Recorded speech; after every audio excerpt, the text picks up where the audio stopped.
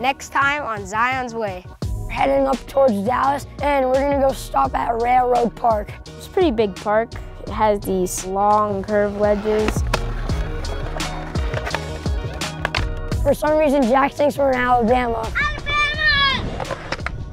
Alabama! Most of the time, Jax has zero idea where we are. We got some really good clips of the park, but now it's time to head out.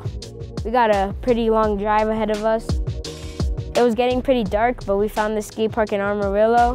The skate park has lights, so we're stoked to get some skating in tonight. It was kind of a strange park, but it was really fun to just get out and skate. You can like clear this gap into the bank, thinking about trying backside flip. You suck!